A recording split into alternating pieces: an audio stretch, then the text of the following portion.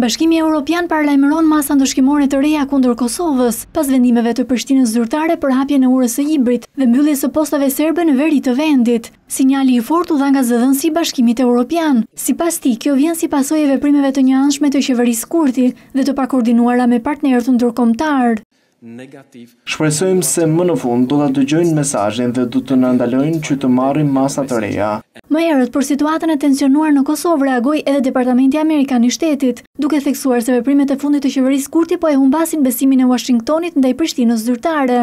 Ne besojmë se Qeveria e Kosovës po vë në rrezik mundësitë që ne i kemi ofruar. Zëdhënësi i Departamentit Amerikan të Shtetit tha se inkurajon Qeverinë e Kosovës dhe ajo që duhet të bëjë është që t'i rikthehet bashkëpunimit të ngushtë dhe konstruktiv me Shtetet e Bashkuara, Bashkimin Europian, NATO-n dhe partnerët e tjerë të ngushtë ndërkombëtarë të saj. Ai shtoi se këtë SHBA e ka bërë të qartë publikisht por edhe privatisht.